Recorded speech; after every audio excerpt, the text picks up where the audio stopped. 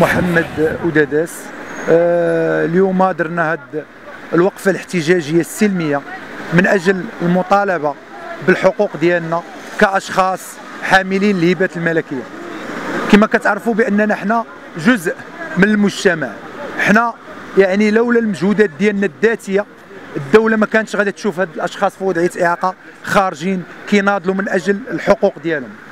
فاليوم درنا هاد الوقفة من أجل القوانين وهذوك الأشياء اللي كيطبقوها على الأشخاص في وضعية إعاقة بدون وجه حق.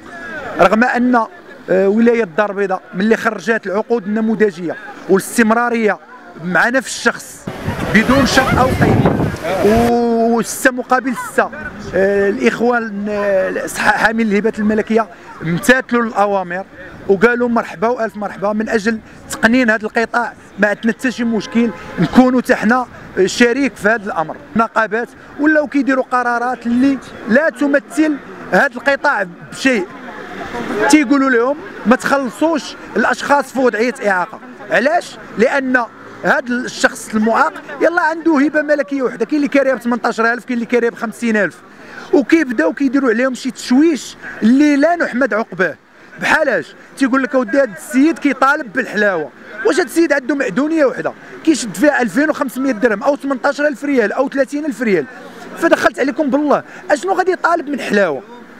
زيد على ذلك فهاد القطاع اللي بغاو يقنوه. فغادي غير يزيد يأزم الوضعية على الأشخاص في وضعية إعاقة وعلى المواطن المغربي.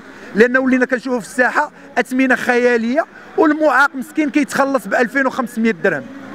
فكنتمنى من الله باش هذا القطاع ما يدخلوش في المجال السياسي ما يكونش يعني آه، شادة مؤسسة سياسية. فكاينة آه، حكومة كاينة بلاد فنتمناو هاد المسؤولين يشدوا آه، زمام الأمور في هذا القطاع من أجل العيش الكريم. أنا ست شهور ما تخلص عندي ثلاثة المعاقين وعندي الراجل معاق في القنت. دير لي عليكوش وعندي ولد مشدود ب 20 عام تحت الحبس. والكريت ساني الميت ساني الضويت ساني وما وصلنا ما ناكل وعيت مع المحسنين. جيت على الخلاص ما كنتخلصش. ما كيخلصونيش. ما كيخلصونيش ولدي ست شهور دابا. كنطلب حقي يعطوني يخلصوني ولا يعطوني ديالي؟ كاري الكريمه وما كيخلصوناش.